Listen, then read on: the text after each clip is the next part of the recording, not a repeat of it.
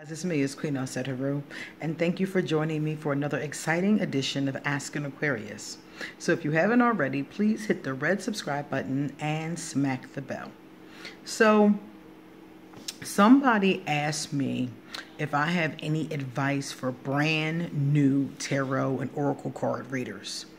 And definitely I do. Um, I have a lot. I have a whole lot as a matter of fact. But I'm going to give you three right now my top three tips for a person who is getting into tarot and oracle cards.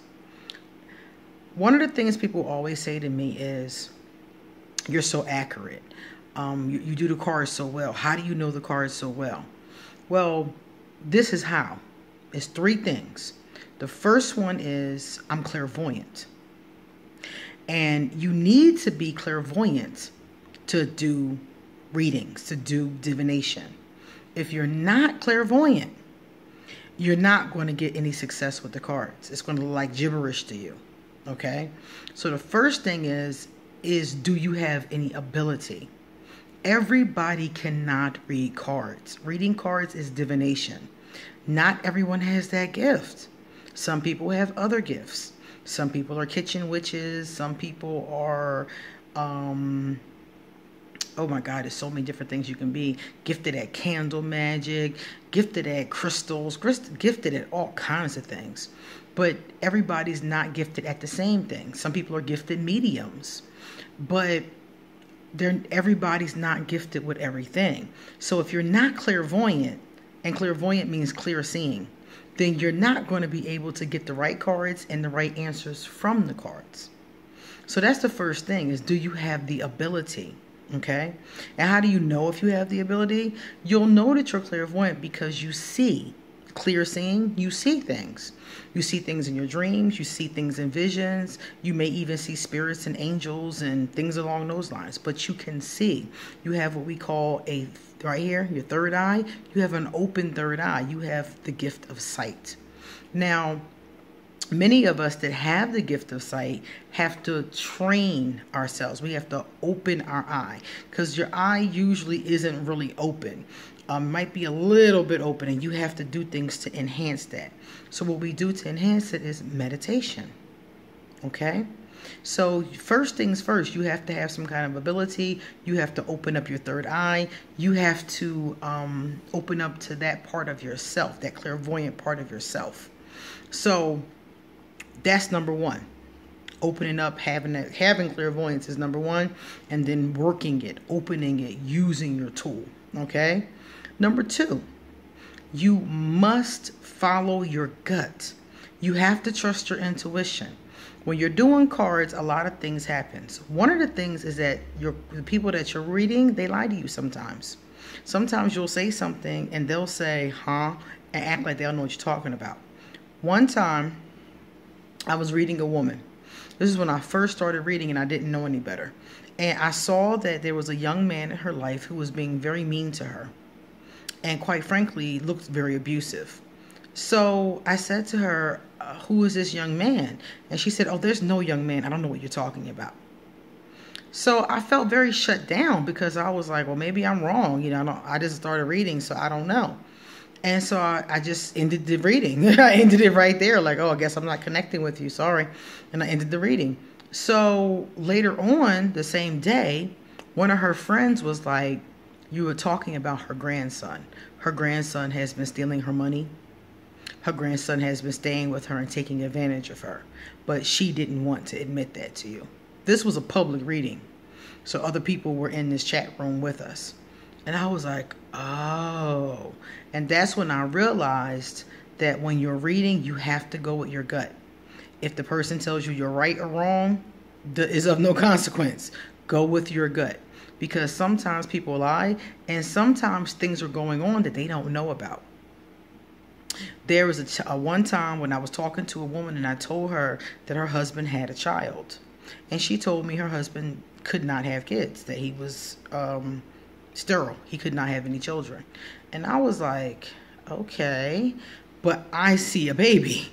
So I left it alone. I told her about it and left it alone. Come to find out, her husband did have a baby with someone else. and she had never she never knew about it. So that's why when it came up in the card, she had no idea what I was talking about. She found out years later and then ran into me and told me about it. And I was like, I knew it. I saw the baby. I see the baby in the card. So there's a baby somewhere. Okay. So you have to trust your own intuition regardless of what anybody else says to you. You have to trust yourself. If your gut says say this, then say it. One time I was doing a reading for a really good friend of mine. And I got to the last card. It was a health card. This was a spread that did uh, a number of different things, and the last thing it did was your health. So I got the card and I stopped cold. And she was like, What's wrong? And I was just cold. I didn't want to say what I saw. And she was like, What is it? And I was like, It says that you're going to die. And she was like, That's what the doctor said. And I was like, Oh my God. Come to find out, she had just went to the doctor. And the doctor told her that if she didn't change her ways, she wasn't going to be with us much longer. She changed and she's still with us. so the doctor earlier had just told her what I saw in the cards. But she didn't tell me, so I didn't even know about it, you know? So it freaked me out and I didn't want to say anything. But because I did say something, she realized that what the doctor said was true and she behaved accordingly. And this is like 10 years later and she's fine. So you have to trust your intuition. It's really important when you're doing readings.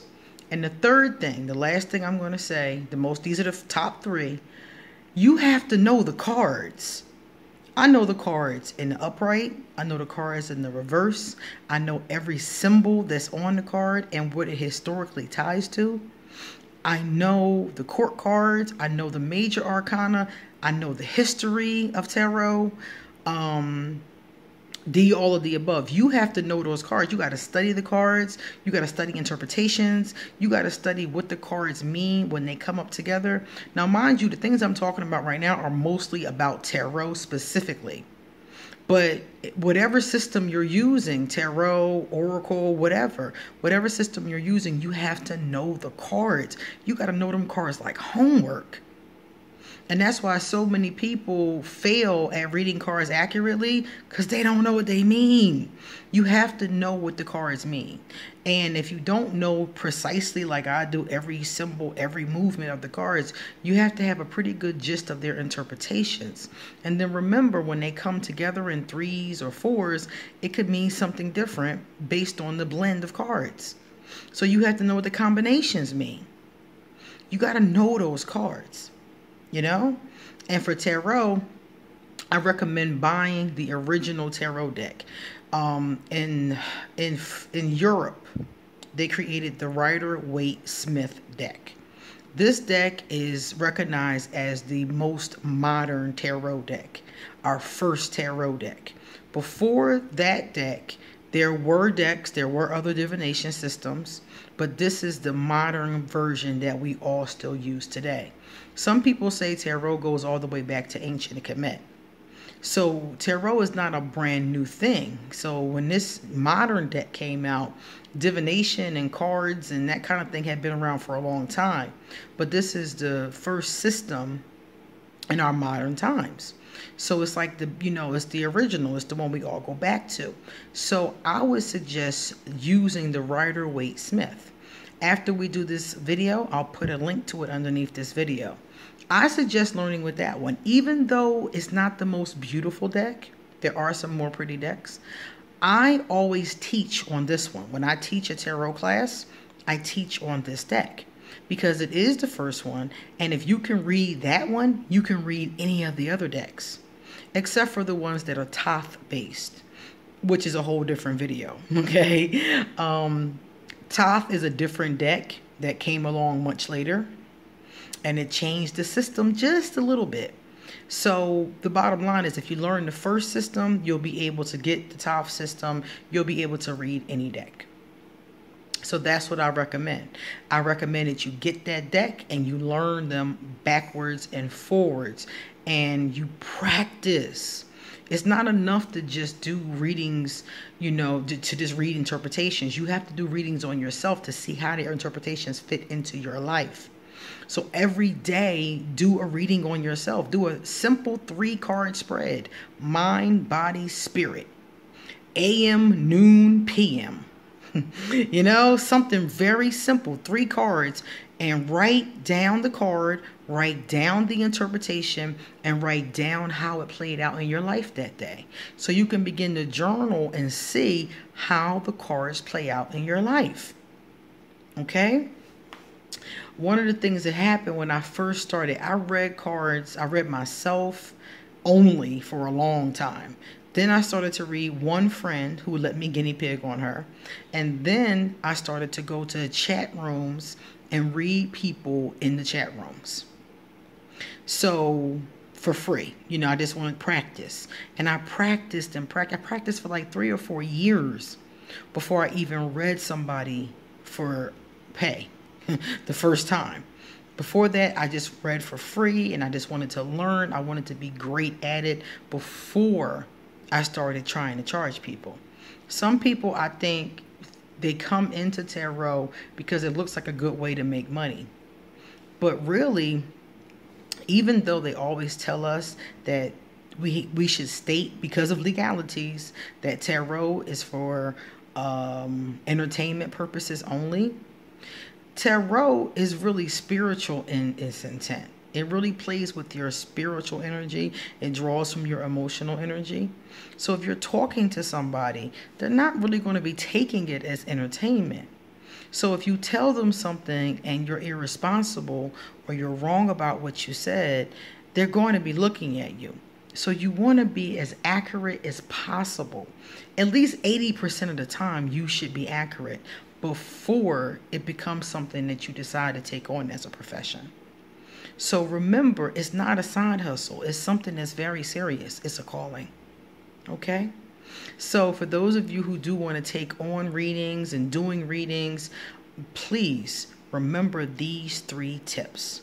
You must be clairvoyant, you must know your intuition and trust it, and you gotta know the cards. Okay? See you later.